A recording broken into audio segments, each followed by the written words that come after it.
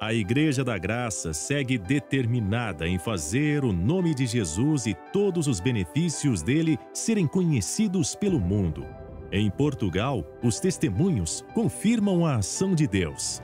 Operada há 15 dias um peito e tinha já sintomas de, de, de cancro no peito, debaixo do braço e vim aqui para receber a cura. E agora só podia levantar o braço até onde antes da oração? Podia levantar por Nem podia. proibida dos médicos. E agora?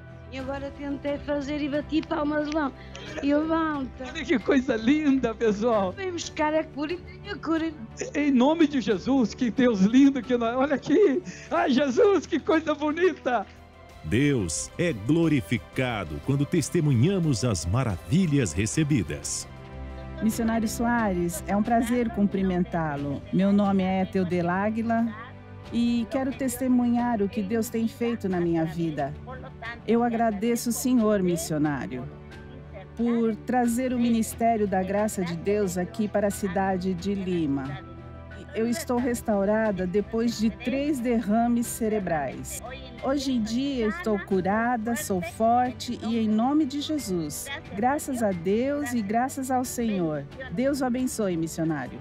Para os patrocinadores, fazer parte das missões de Deus é um privilégio. Já era patrocinadora antes mesmo de ir para lá para a igreja. Mas aí teve o meu neto que teve dois bebês gêmeos, eu endividei. Aí eu fiquei seis meses sem, sem dar o patrocínio. Quando eu estava patrocinando mesmo ali, certinho, mesmo em cima, mesmo firme mesmo, eu levava sacola para as outras irmãs lá na igreja que falava que estava com pouca coisa em casa. Depois parei patrocinar, elas ficam perguntando, ué, irmã, a irmã esqueceu da gente.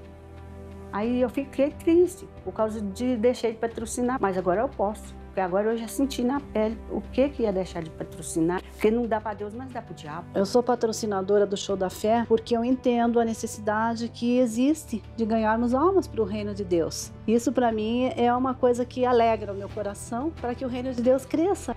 Desperta no Senhor, pois o tempo certo de fazer a obra é agora.